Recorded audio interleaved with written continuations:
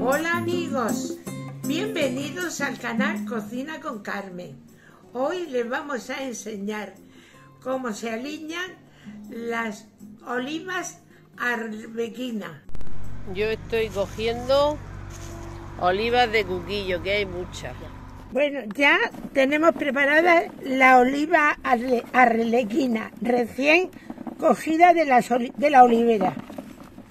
Bueno, ahora vamos a poner las olivas en sal. Las ponemos aquí en un barreño.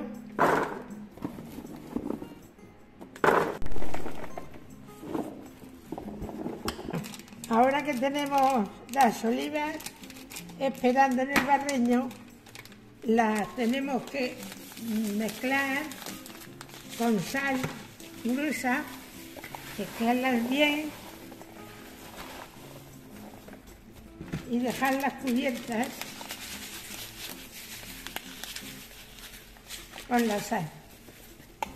Y así las dejamos durante 20 días. Bueno, ya han transcurrido 20 días y ya tenemos la oliva arlequina así, como ven. Yo, esto no es agua, esto es la sal. La sal que la ha macerado aquí. Ahora tenemos que sacarlas de aquí y enjuagarlas. Vamos a sacarlas de este barreño y ponerlas en otro con agua limpia. Bueno, ya tenemos preparada el agua para desalarlas.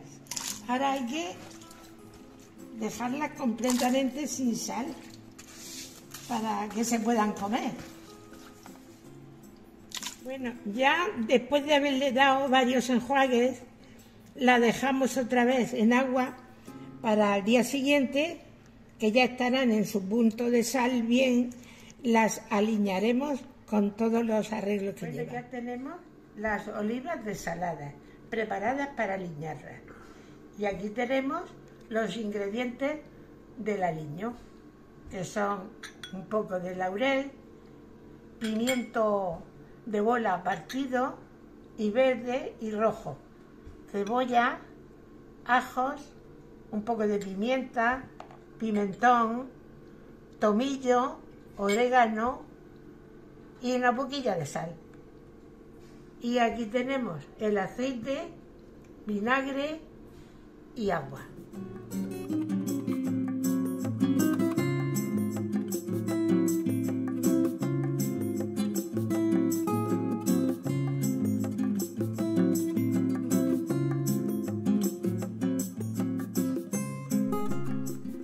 Para más detalle, mirar la cajita de información.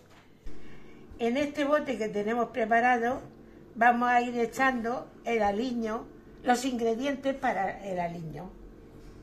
Un poco de cebolla,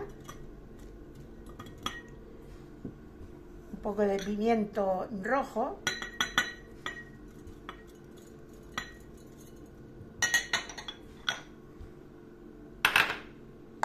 otro poco de verde,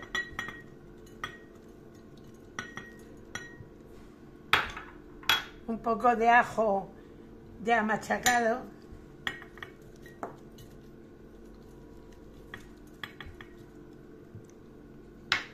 así es suficiente, un poco de, de pimienta, otro poco de pimentón, pimentón echamos un poco más, así, un poco de orégano, tomillo. Y sal, de momento vamos a echar muy poca, muy poca, porque ya tenemos desalado. Ah, y le echamos también unas hojas de laurel, que las troceamos para que den más sabor. Así. Y ahora le echamos los líquidos. El vinagre. un poco de aceite, así, y agua.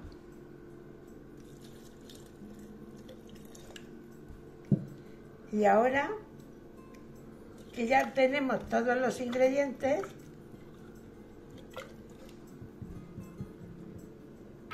le ponemos las olivas.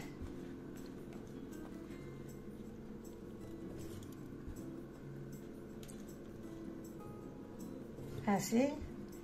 Nos vamos removiendo para que se quede todo mezclado ahí con las olivas. Terminamos de llenar el bote.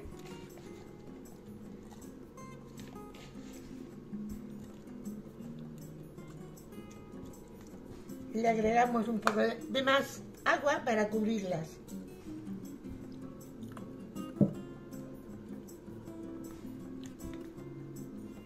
Bueno, esto en dos días, como ellas ya están curadas, se pueden comer. Ya han cogido el sabor de todo el aliño. Lo tapamos y ya tenemos nuestras olivas arbequina aliñada. Bueno amigos, espero que os haya gustado y os espero al próximo vídeo.